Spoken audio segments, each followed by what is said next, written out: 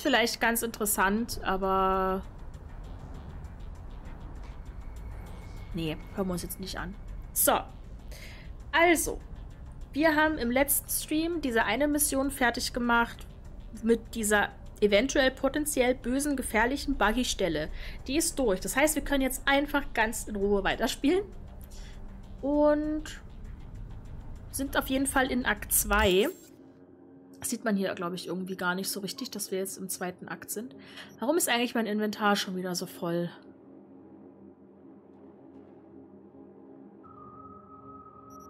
Habe ich wieder mehr Klamotten, als ich eigentlich habe? Nee. Oh, was ist das?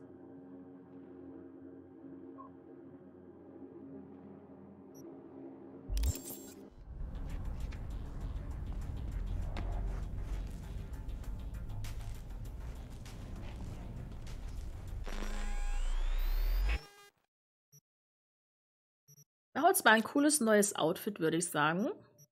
Ich da so eine Idee. Ziehen die Jacke an.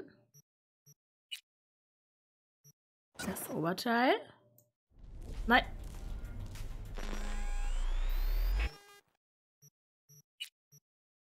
Ein bisschen mehr anhaben wäre schon gut. Äh...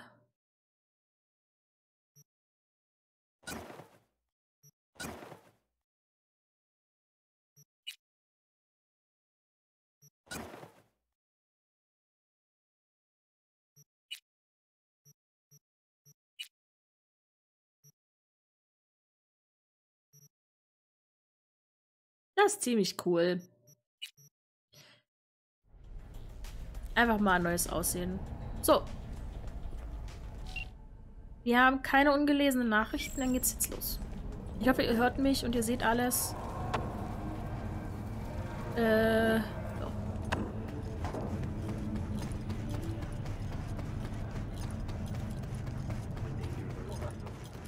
Es ist voll komisch, jetzt wieder mit Maus und Tastatur irgendwas zu spielen letzten Tage nur am, an der Konsole gesessen.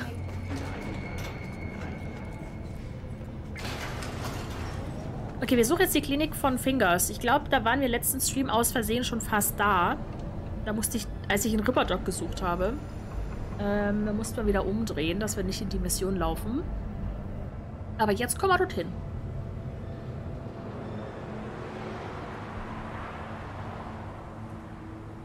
Ich habe übrigens noch nicht rausgefunden, ob ich hier irgendwo sehe, wie weit ich mit dem Spiel bin. Ich bin halt so, ich, ich möchte das immer gern wissen. Das hier oben sagt mir halt nicht viel. Ich meine, dass ich mal irgendwo was gesehen hatte,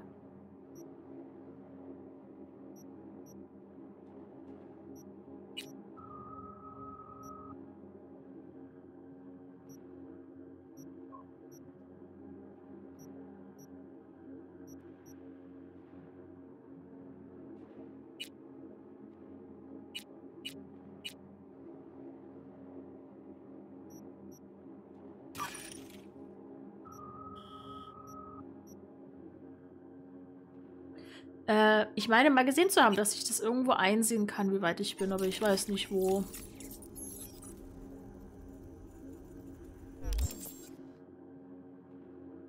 Vielleicht sollte ich auch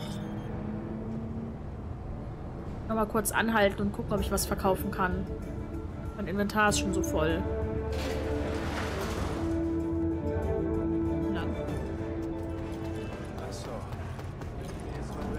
Bestimmt noch ein paar Waffen, die ich nicht brauche.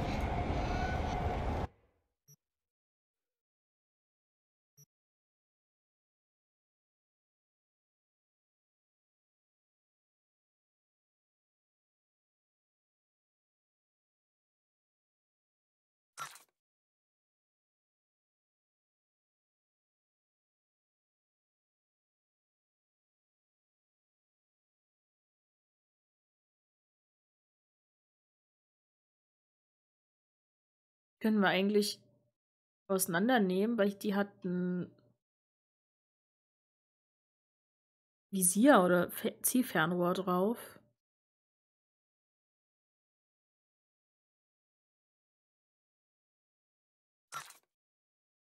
Die sieht voll cool aus. Die möchte ich eigentlich gern behalten. Auch weil ich nicht weiß, ob ich die jemals einsetzen werde.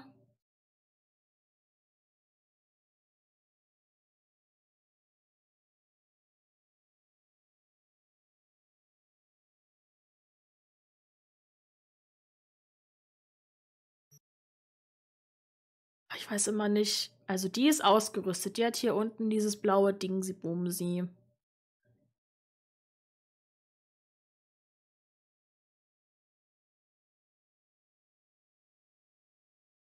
Ihr seid viel weniger Schaden als die, die ich ausgerüstet habe. Die Waffe.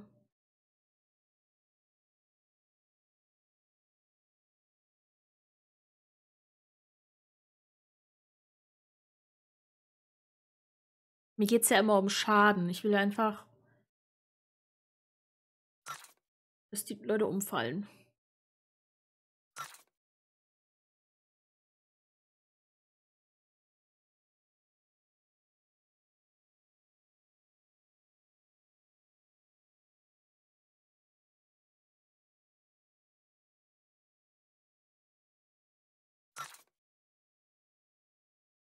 Hm.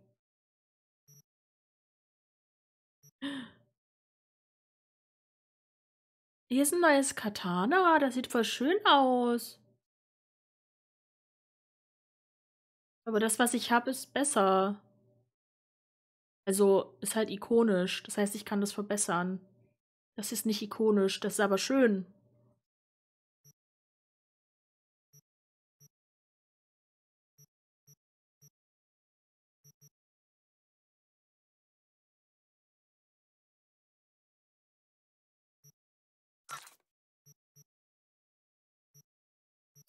Muss doch mehr verkaufen. Ich bin immer noch bei 140 von. Das sind wahrscheinlich die ganzen Klamotten, die ich auch einstecken habe. Chat, es tut mir leid. Ich muss Klamotten einlagern. News aus aller Welt. Ich bin Gillian Jordan. Wissenschaftler von Biodyne ja, Systems haben einen Durchbruch im Kampf gegen multiple Sklerose bekannt gegeben. MS ist eine der Nicht, dass wir Kämpfe doppelt machen müssen. werden kann, indem man betroffenes Gewebe durch Implantattechnologie ersetzt. Experten bei Biodyne ist es gelungen, Naniten zu entwickeln, die durch eine Injektion ins Rückenmark konstante Langzeitwiederherstellung des Nervengewebes ermöglichen. Die Kosten dieser modernen Behandlungstherapie werden mit um die 700.000 Euro-Dollar pro Monat beziffert. In den Überresten von City tobt das Deponie-Inferno nun schon die zweite Woche in Folge. Aus dem Weg, ich muss schnell nach Hause.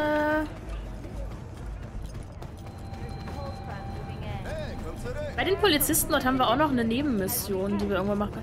Irgendwie ist die Tür zu meiner Wohnung immer offen.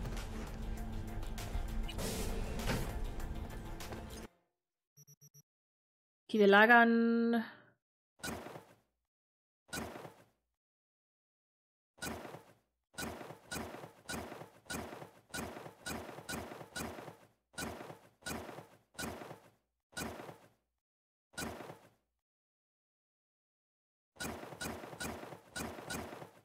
Klamotten, die ich anhabe, auch einlagern, oder?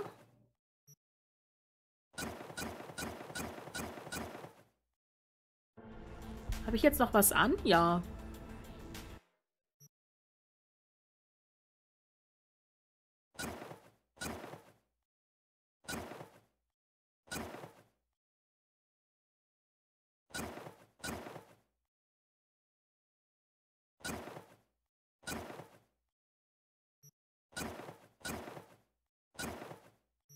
Guckt mal. So sieht doch besser aus. Ich habe jetzt alles hier gelassen, was ich jetzt nicht brauche.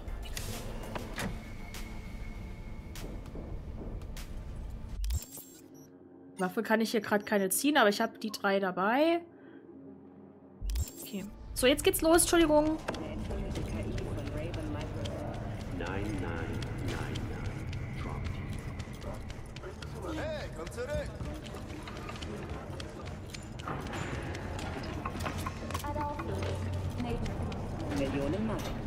Im Schatten eines Apfelbaums ist ein Drama, das im 20. Jahrhundert in Irland spielt und wird So. schon jetzt als Meisterwerk der Chat, was habt ihr heute Schönes gemacht? Literatur gehandelt. Habt ihr heute noch was vor? Und das waren die Weltnachrichten. Danke, dass Sie N54 eingeschaltet haben.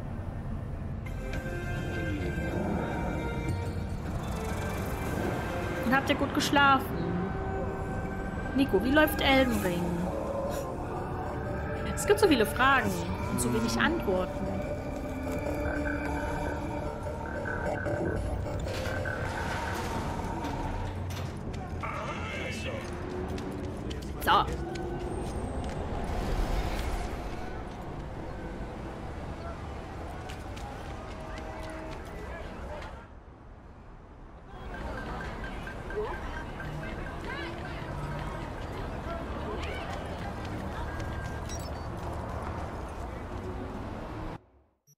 Ich habe ein Lager. Moment, ich habe ein Lager an meinem Auto? Das wusste ich noch nicht.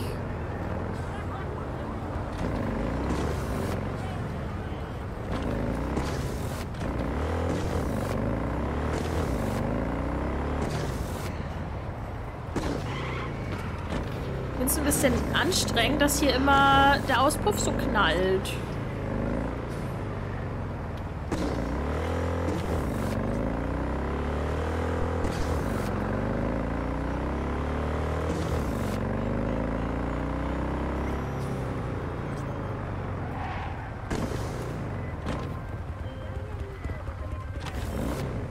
Hey, wie? Hörst du mich? Laut und deutlich, schrei nicht so rum. Was gibt's? Ich mache einen kleinen Wettbewerb. Schießen, Preise und so. Also hier in der Anlage. Ah ja, das klingt doch logisch. Und? Bist du am Start? Ich dachte, Es ist Partys super sind nicht so dein Doof. Ja, der große Darin man nicht. Aber die Eddies werden knapp und das ist zur Kundenbindung und so. Du könntest ja Knarren direkt aus der Produktion verkaufen. Überspring einfach das stundenlange Basteln an jeder Pistole. Wie? Also wirklich? Klar, bin dabei. Wann? Naja, jetzt. Wir warten auf dich. Bis gleich. Nee, nicht jetzt.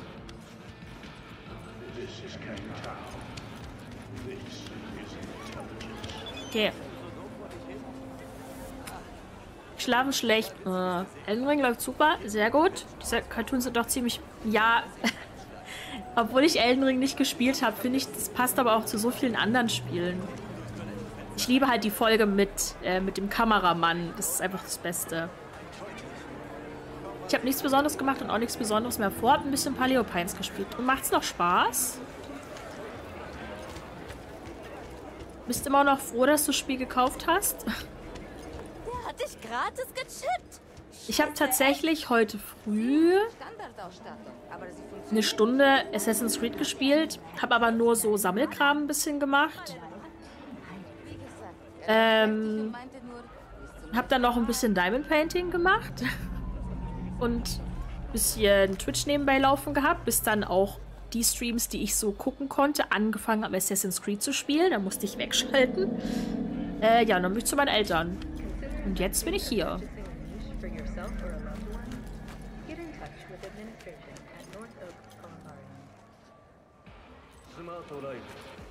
Leon, was haben wir denn hier? Du bist ja mal ein leckeres Ding. Wenn du Befriedigung suchst, könnte ich dein Mann sein.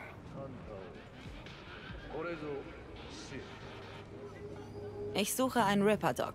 Nennt sich Fingers. Wo finde ich den? Wer fragt? Und warum? Geht dich nichts an. ich kämpfen. suche ihn, weil ich das will. Und jetzt geh mir aus dem Weg. So redet niemand mit Lil Loco. Wuhu! So geht das! Mach sie fertig, Mädel!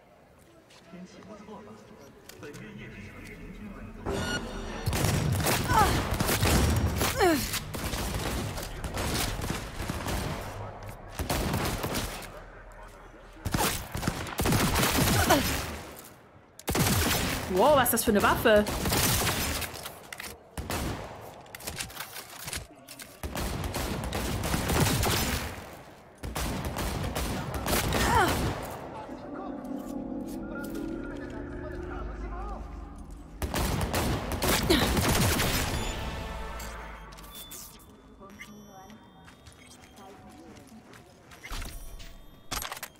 Wir haben ja gerade ausgemistet. Sie haben ihre Unterwäsche verloren. Dann nehmen wir jetzt wieder ein paar Waffen mit, würde ich sagen. Ist hier noch Loot? Nee. Hat ein paar Schwächen, die man in der Demo so noch nicht sehen konnte, aber insgesamt macht es schon Spaß. Okay, das ist die Hauptsache. Enring regt halt dazu an, die Welt zu erkunden und dafür wirst du mit Geheimnissen, Bosskämpfen, neuen Waffen und sehr schönen Landschaften belohnt. Die Landschaften würde ich auch nehmen. Wo liegt denn der?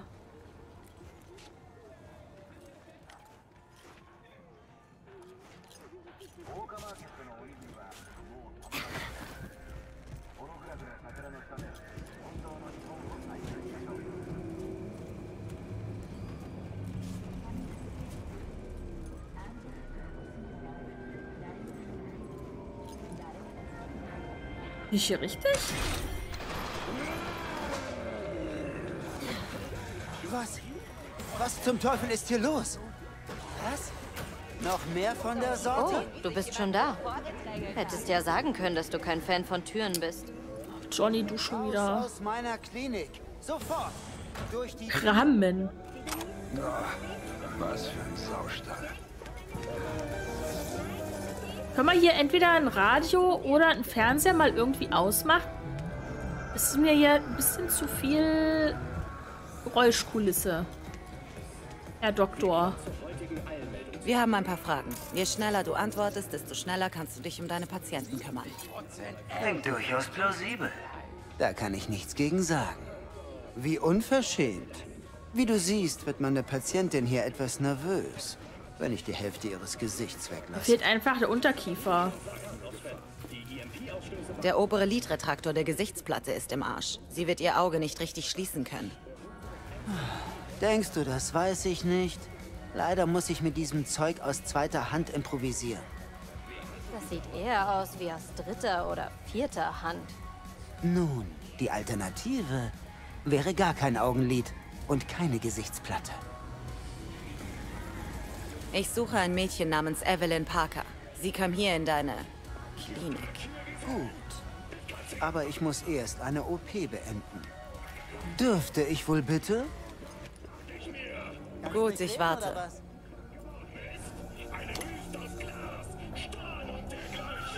Jetzt musst du ein tapferes Mädchen sein. Könnte ein bisschen wehtun.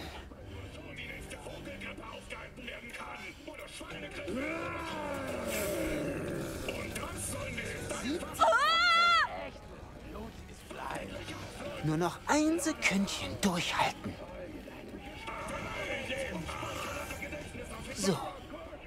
Wie fühlt sich das an? Gut, denke ich. Ich würde auch Sieht sagen, gut, aus. und gehen. Und ein Lächeln tut niemandem weh, Schätzchen. Wie beim Friseur. Wenn der Friseur fragt, und wie gefällt's? Und es dir einfach gar nicht gefällt und du sagst, ja, ist schön, danke. Tiger Claws? Ich habe all meine Schulden bezahlt. Wir sind Mox. Mox, sag das doch gleich. Also, was führt euch her?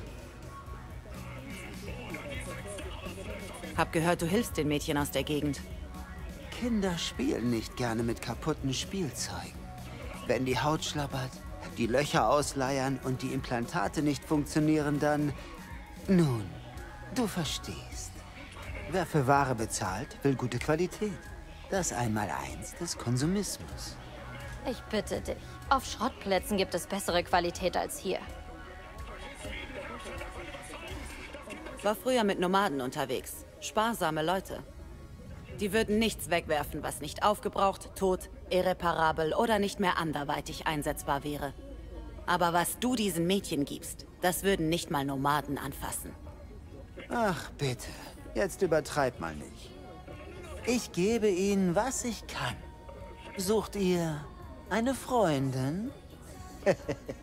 Wissen diese Mädchen, dass du defekte Implantate einbaust? Du nennst sie defekt. Ich nenne sie die Besten, die sie kriegen können. Was kriegst du dafür? Was immer sie mir bieten können. Und sie haben immer irgendwas zu bieten. Du bist so ein Drecksack. Abschaum. Sucht ihr Eine Freundin? Kannst mal Füße waschen. Schönheits-OP, ja. Reden oder was? So wie er sagt, ja. Hab ich dir schon gesagt, ich suche eine Frau namens Evelyn Parker. Ich muss sie finden. Bitte, kommt in mein Büro. Hier kommen so viele Mädchen vorbei. So viele. Aber sagen wir so, ich widme mich mit Leib und Seele jeder einzelnen von ihnen. Da. Ich bin doch kein Metzger. Ich weiß, was ich tue und ich weiß, was die Leute wollen. Umschmeißen. Ich würde euch gerne die Klinik zeigen, aber vielleicht später. Natürlich. Ich kann mich nicht an alles und jeden erinnern. Nicht mal an so ein exquisites... Du bist nervös geworden, als ich ihren Namen erwähnte. Also tu nicht so. Ich weiß, du erinnerst dich an sie. Ich... Ich habe eine neurologische Störung. Das sind nur Ticks von mir. Wirklich. Ich wünschte, ich wüsste, wen du meinst.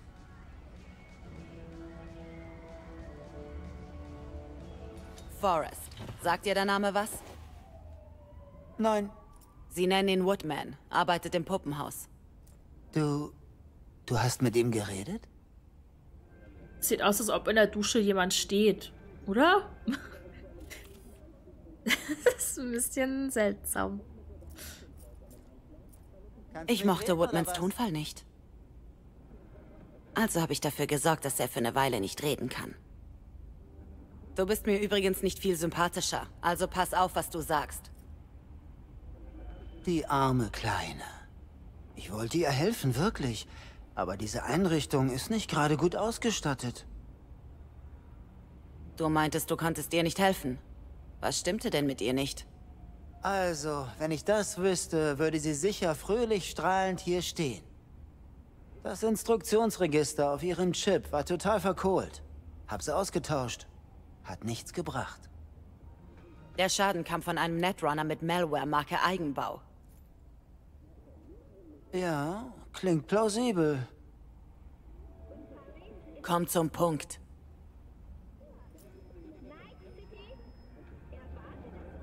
Den Punkt? Ah ja. Nun, ich habe nicht den Hauch einer Ahnung, wo sie ist. Schluss mit den Scheißlügen! Was hast du, Freak, mit ihr gemacht? Entweder legst du dieser Kreatur einen Maulkorb an, oder du schläferst sie ein. Mit ihrem Raum kann man sich nicht unterhalten. Sprich nicht so mit ihr. Sie hat mich beleidigt. Hör zu. Je eher du redest, desto schneller bist du uns wieder los. Also, Evelyn Parker, wo ist sie? Sie ist auf dem besten Weg, der neue Nachwuchsstar für Underground Braindances zu werden. Das ist alles, was ich weiß. Bist du dir da sicher? Ich hatte sie vier Tage hier.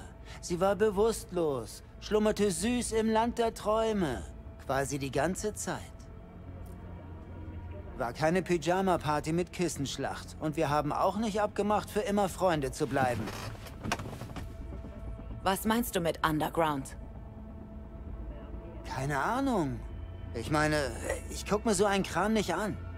Snuff? XBDs? Ich sag doch, ich weiß es nicht. Wo finden wir sie? Wie oft muss ich es noch sagen? Ich weiß es nicht. Ich, ich habe getan, was jeder an meiner Stelle getan hätte.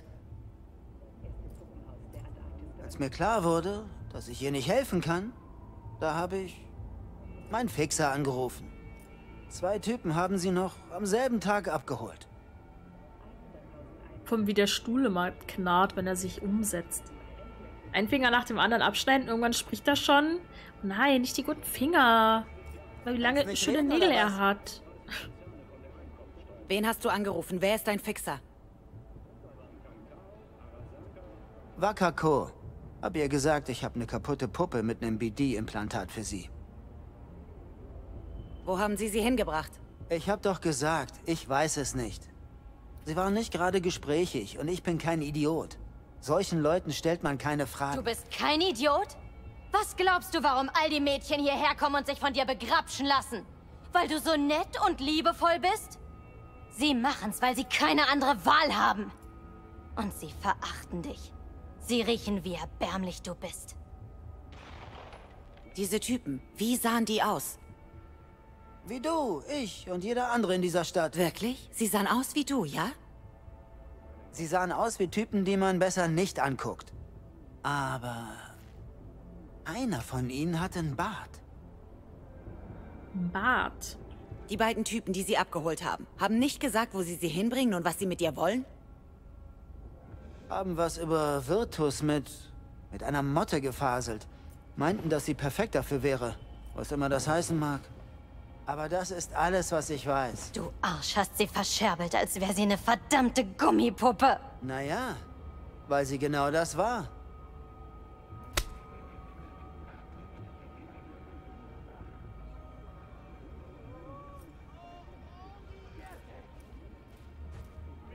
Ich brauche frische Luft. Bin draußen.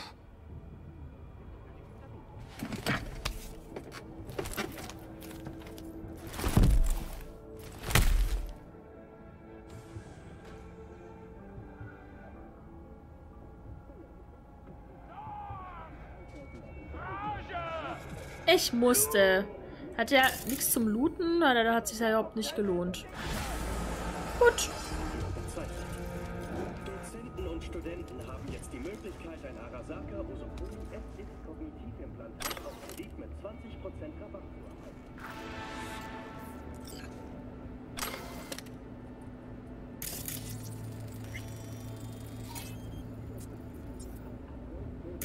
In Vista del Rey. Gerichtsmediziner haben eine Fleischvergiftung als Todesursache Durchbruch im Kampf gegen Multiple Sklerose bekannt gegeben. Es ist eine Krankheit, die nicht geheilt werden kann, indem man Betroffene durch den Körper Ich glaube, sie können nach Hause gehen übrigens. Ich glaube, der mm -mm. arbeitet heute nicht mehr. Sie zurück ins Clouds gehen lassen. Ich hätte sie aufhalten sollen. Keine Angst, wir finden sie. Ganz sicher. Wir finden nur, was von ihrem zerstückelten Körper übrig ist. Hey, reiß dich zusammen. Willst du jetzt aufgeben? Nein. Unsere einzige Spur ist ein XBD. Wohin führt uns das? Und wir wissen, dass es was mit dem Todesmottensiegel zu tun hat. Besser als nichts. Ich raff deinen Optimismus nicht. Klingt immer noch, als hätten wir nichts. Sagt dir das Todesmottensiegel was? Irgendwas, egal wie unwichtig es scheint. Hör zu. In dieser Branche ist die Nachfrage für alle möglichen Fetische da. Und das grenzenlos. Aber XBD-Macher würden ständig den Standort wechseln. Und das macht es schwieriger, sie zu fassen. Wir müssen rausfinden, wo sie das Zeug drehen. Muss irgendein dreckiges Loch sein. Die werden wohl kaum ein Studio haben. Ja, sicher irgendwas Ruhiges, Abgelegenes. Vielleicht entdecken wir was in einer ihrer Virtus, was uns auf ihre Spur führt. Dann müssten das echte Vollidioten sein. Hast du eine bessere Idee? Hab ich. Eine Domain namens Pleasures of Night City. Gibt einen Ableger davon im Darknet. Da findet sich alles Mögliche. Vielleicht stoßen wir ja auf was Nützliches.